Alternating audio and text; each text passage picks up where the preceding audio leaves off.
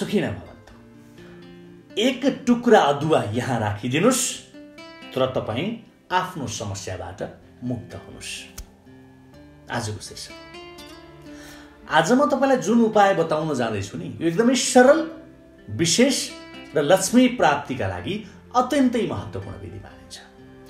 जुनसुकै व्यक्तिले पनि यो उपाय सजिलै गर्न सक्नुहुन्छ र तपाईँले यो सरल तरिकाले सामान्य उपाय गरेर लाभ पनि लिन सक्नुहुन्छ। तर पूर्ण निष्ठता हुनु पर्यो पूर्ण विश्वास हुनु पर्यो है। अर्काले भनेको भरमा आफ्नो अन्तस्करणबाटै नआइकन गरेर अर्थ कैयौँ कुरा हामीलाई थाहा हुँदैन धेरै कुरा हामीलाई थाहा हुँदैन होइन?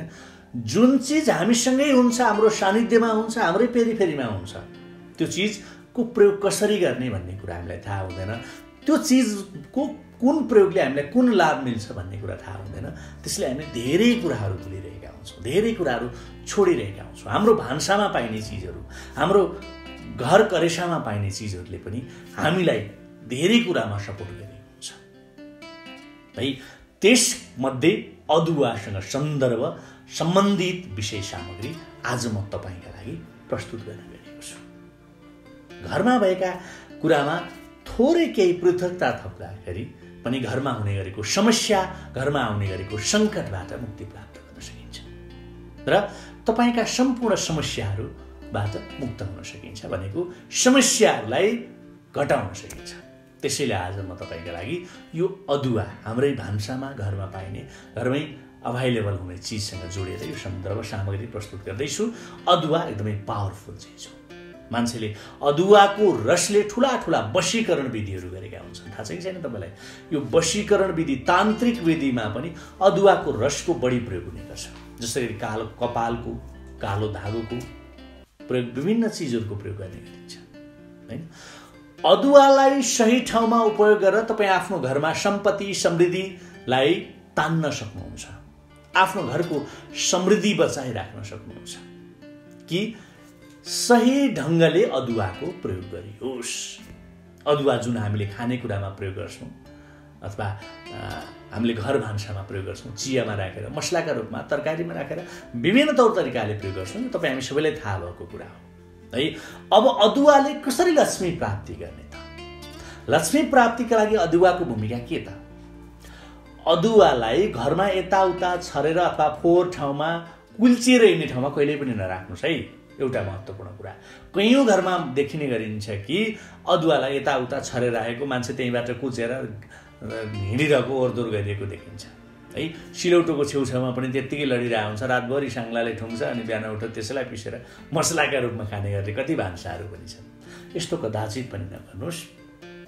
आधा पिसेर आधा छोडिएको यस धेरै अदुवाहरू हुन्छ मान्छे यस्तो काम नगर्नुहोस्। अदुवालाई एकदमै स्वस्थ ठाउँमा सफा ठाउँमा राख्न जरुरी छ। होसियारका साथ तपाईँले प्रयोग गर्नुहोला। अदुवा कुच्दै कुल्चँदै नहिँड्नुहोला। यति गर्नाले पनि तपाईँको घरमा राम्रो परिणाम आउँछ। तर अदुवा आधा थिच्यो अझ लोरोले आधा थिच्यो अनि आधा त्यहीँ छोड्यो आधा पिसेर लग्यो। त्यस्तो अवस्थामा छोड्ने होइन। राम्रोसँग छिलेर त्यो कहाँ राख्ने व्यवस्थित गरेर राख्नु होला है। अब यो त भयो सामान्य कुरा। अब विषयवस्तुतर्फ लाग्यो यसै त अदुवाका एकदमै धेरै उपायहरू हुने गर्छन्। मैले अघि पनि तपाईँलाई भने मान्छेले हरेक चिजमा अदुवाको विधिलाई प्रयोगमा ल्याउने थालेका छन् अहिले। पावरफुल छ अदुवा। तर आज म तपाईँलाई लक्ष्मी प्राप्तिका लागि अदुवा कसरी फाइदाजनक हुन्छ त? है ल अब तपाईँले ध्यान दिनुहोस्। तपाईँले अदुवा लिनुहोस्। एक टुक्रा अदुवा लिनुहोस्। त्यसलाई राम्रोसँग सफा गर्नुहोस् र त्यसलाई तपाईँले ताराको चिन्ह स्टार भन्छौँ नि। ताराको चिन्हको आकारमा काट्नुहोस्। एक दुई तिन चार पाँच। पाँचवटा कोण हुने गरी तपाईँले त्यसलाई मजाले चक्कुले केले काट्ने हो? वरिपरि काटेर त्यसको अदुवाको तारा बनाउनुहोस्। स्टार बनाउनुहोस् है। त्यो तारा आकारमा अदुवा काटिसकेपछि त्यो टुक्रालाई तपाईँले घरको मूल ढोकाको दाहिने साइडमा लगेर गाडिदिनुहोस् अब सिमेन्टेड घर छ घर ढलान गरेको छ प्लास्टर गरेको छ कहाँ गाड्ने? तपाईँलाई लाग्न सक्छ। तपाईँको गाड्न मिल्ने अवस्थामा छैन अथवा तपाईँ भाडामा बस्नुहुन्छ अथवा कुनै कारण समस्या छ भने तपाईँले मूल ढोकाको दाहिने साइडमा एउटा फुलको गमला राख्नुहोस् र त्यही गमलाको माटोमा लगेर त्यो अदुवा गाडिदिनुहोस् र यसमाथि माटो हाल्नुहोस् फेरि। माटोसहितको गमलामा अदुवा गाड्नुहोस् र माथिबाट पुरिदिनुहोस् र थोरै सफा पानी पनि तपाईँले राखिदिनुहोस्। मूल ढोकाको दाहिने साइडमा है तपाईँले राख्नुपर्ने अदुवा। गाड्न मिल्छ भने गाड्नुहोस् मिल्दैन भने गमला राखेर राख्नुहोस्। र त्यहाँ थोरै शुद्ध बेसारको धुलो पनि राखिदिनुहोस् माथिबाट सरिदिनुहोस् र दुईवटा अगरबत्ती बालिदिनुहोस् धुप बालिदिनुहोस् अथवा दीप बालिदिनुहोस् तपाईँले। आफै यति कर्म गर्नुभयो भने यसको जबरजस्त चमत्कार तपाईँले केही साताभित्र देख्नुहुनेछ यदि यो अदुवा टुसा मात्र हाल्यो अथवा उम्रियो भने तपाईँको भाग्य चम्किनलाई कसैले रोक्न सक्दैन। तपाईँको सफलता एक माथि अर्को गर्दै बढेर जानेछ। तर त्यो अदुवा टुसा हालेर उम्रिन थाल्यो नम्बर एक है?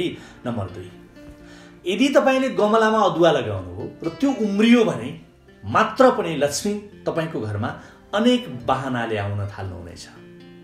यदि तपाईँले लगाएको अदुवा उम्रिएको छ भने त्यसमा दैनिक पानी सिच्याउन चाहिँ नबिर्सनुहोस्। पानी हाल्न चाहिँ नबिर्सनु होला र तपाईँलाई थाहा हुनेछ कि कसरी एकपछि अर्को सुख प्राप्ति हुन्छ भने यो अदुवामा तपाईँले गरेको सेवाले तपाईँलाई कसरी फाइदा पुर्याउँछ भनेर आफैले प्रयोग गरेर हेर्नुहोस्।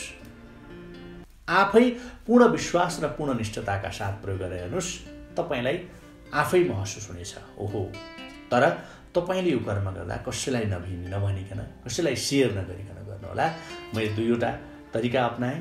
अथवा गर्ने तरिका एउटै हो तर यसलाई तपाईँले पानी हाल्न नबिर्सनु होला स्टार भनेको ताराको चिन्हमा काट्न नबिर्सनु होला र तपाईँले त्यो अदुवालाई लगेर दाहिने साइडमा गाड्न नबिर्सनु होला।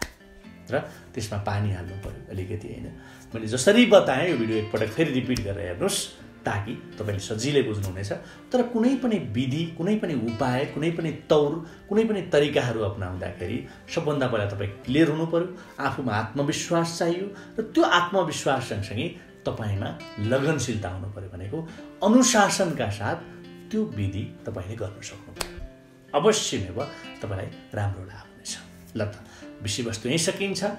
एक टुक्रा अदुवाले तपाईँलाई कसरी फाइदा दिन्छ त? तपाईँको लागि एक टुक्रा अदुवा कति उपयुक्त हुन्छ त भन्ने सन्दर्भमा तयार गरेको विषय सामग्री यही सकिन्छ। तपाईँको कुनै प्रतिक्रिया भए गुनासो मनेसो भए कमेन्ट बक्समा लेख्न नबिर्सनुहोला सँगै कुन विषयवस्तुमा तपाईँ नयाँ भिडियो चाहनुहुन्छ त्यस विषयमा पनि तपाईँले कमेन्टमा लेख्दै गर्नुहोला ताकि तपाईँको चाहना मुताबिक हामी नयाँ भिडियो निर्माण गर्न सकौँ। ल त अर्को भिडियोमा अर्को विषयवस्तुका साथमा तपाईँलाई भेट्न आउने भाषा भयो मेरो। सँगै मेरो च्यानल आज पहिलोपटक तपाईँले हेर्दै हुनुहुन्छ भने मेरो च्यानललाई सब्सक्राइब गर्न पनि नबिर्सनुहोला। लोका र समस्त सुखिना बन्धु